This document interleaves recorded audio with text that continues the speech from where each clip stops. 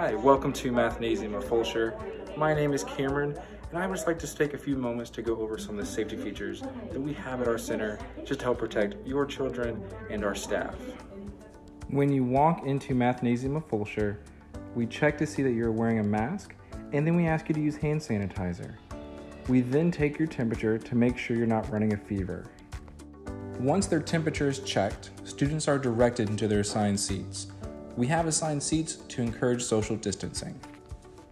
During the session, the instructor will handle all the students' materials.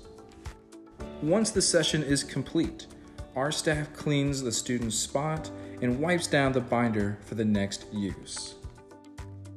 As the students leave, we ask them to please sanitize their hands before they walk out the door. Lastly, at the end of the day, we wipe down all surfaces so that we are prepared for the next day.